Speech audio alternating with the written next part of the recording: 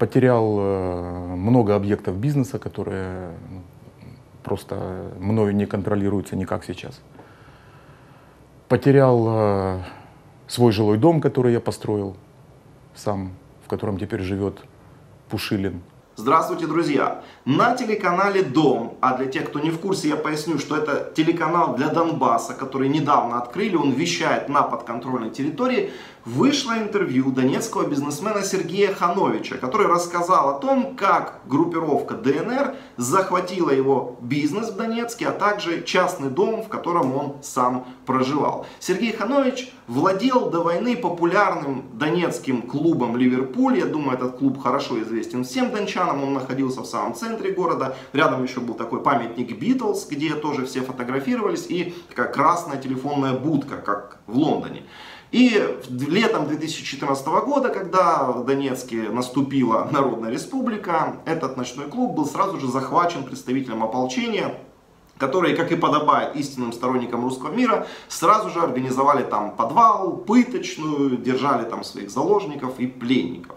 Вот это интервью Сергея Хановича, думаю, в первую очередь будет очень интересно посмотреть таким же бизнесменам из Одессы, Харькова, Запорожья, Мариуполя и других городов юга и востока Украины, где предпринимались также попытки захвата местных администраций и провозглашения каких-то народных республик и тому подобных образований. Просто для понимания, что было бы там с людьми, если бы там тоже победили защитники русскоязычного населения и сторонники Новороссии. Но если брать крупный, вот такой значимый объект в Донецке, это большой был комплекс Ливерпуль, который был захвачен сразу же в тот же день, когда э, захватили Донецк, э, вышедшие из славянска, из. Вот, это был 14 год, начало июля.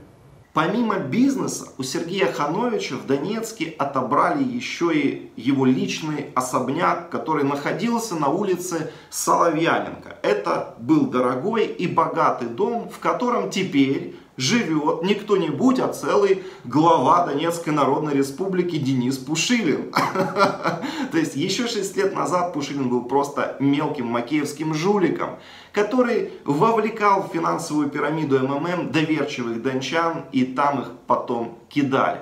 В начале 2014 года Пушилин даже мечтать не мог о таком доме, в котором он сейчас живет. И это на самом деле самая яркая и наглядная иллюстрация того, зачем организаторам ДНР было все это нужно. Это мой частный дом на улице Соловьяненко 10-12 э, в районе парка Щербакова.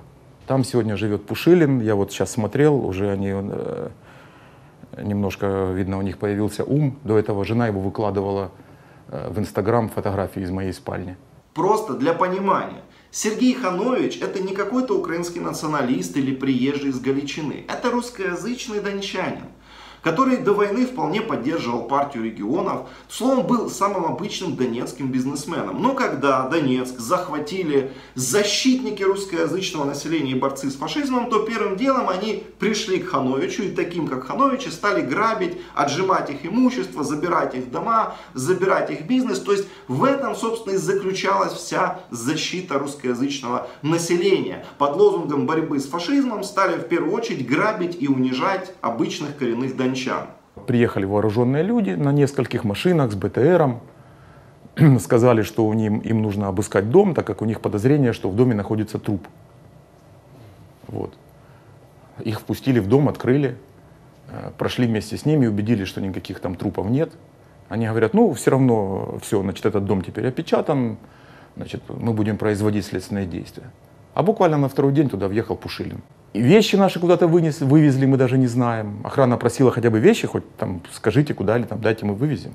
Вещи, фотографии, там, ну то, что им вообще не нужно. Вот. Но когда они с, э, с углов дома, там, с заборов там, позбивали мои инициалы, то я понял, что это уже надолго. Надо отдать должное Пушилину, он выбрал себе для проживания весьма комфортный дом. До войны его бы в такой дом не пустили бы даже подметать полы. Вот что рассказывает о своем особняке сам хозяин. Дом очень большой, больше полутора тысяч метров. Вот, потому что я рассчитывал, что будут со мной жить и дети, и родители, с большим зимним садом, с с отдельным бассейном, с джакузи, с несколькими там, с, э, со спортзалом, ну все, что с дизелями всякими, там, с гаражами, с заправочными станциями, ну что еще вам сказать. Все, что можно было придумать, там было все.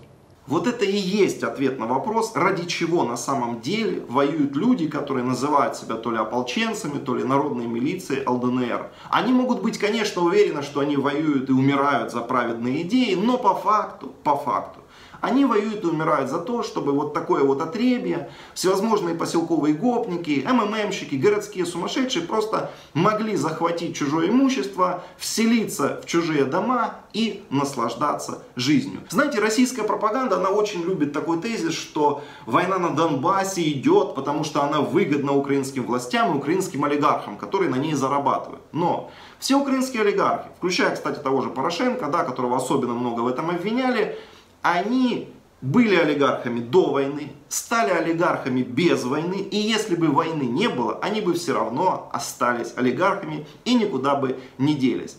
А вот Денис Пушилин и тому подобное отребье без войны никогда бы таких домов не имело и никогда бы не смогло себе позволить жизнь в таких особняках и пользоваться такими предметами, аксессуарами, которые они сейчас пользуются.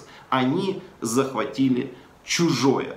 Денис Пушилин не так давно меня лично и Сергея Гармаша, который также является представителем Донецка в трехсторонней контактной группе по Донбассу, называл негодяями. Это откровенные негодяи, предатели.